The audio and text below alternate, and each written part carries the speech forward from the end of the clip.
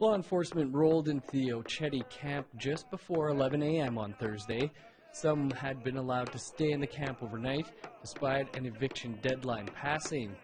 Akisa Melk was at the camp earlier in the day to support an elder making a stand for treaty rights. This land is supposed to be for us, you know.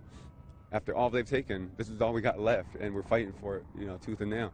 And she stands for that. She stood for that since the 70s. You know, she's a veteran of wounded knee uh, occupation, and uh, I I I, uh, I went there to go make sure that everybody stayed peaceful and prayerful, and that uh, you know that nobody was hurt.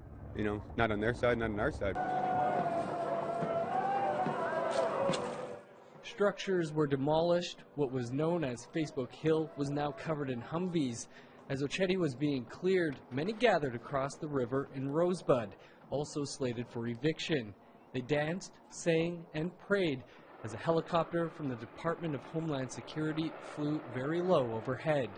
Some started making their way across the frozen Cannonball River back to Oceti. There, they faced down a small group of law enforcement. It was a tense scene. The singing had come to an end. Law enforcement started coming at the group from every different angle. Then they moved in. Only a few were arrested. No official word yet on how many people were taken into custody on Thursday.